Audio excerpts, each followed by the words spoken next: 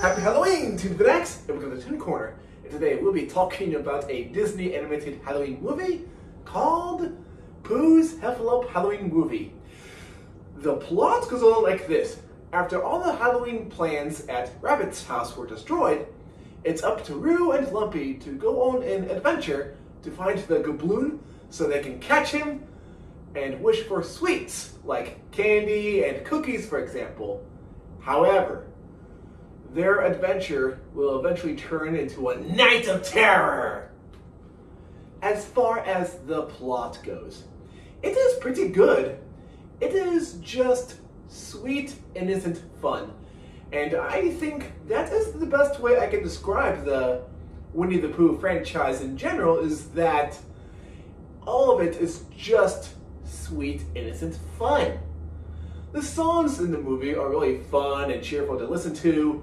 The only nitpick I actually really do have with this movie is at one point they had to put the plot on hold just so Roo can tell Lumpy the story of how Piglet is not entirely afraid of Halloween. The idea was good, but the way it, was executed was poorly done. As far as the cast goes, Pooh is the silly old bear that we all know and love today. Tigger is the fun-loving, enthusiastic tiger. Rabbit only gets anxious whenever things go horribly wrong, and he actually does make a good straight man for Tigger. Piglet is an anxious character that gets frightened from time to time.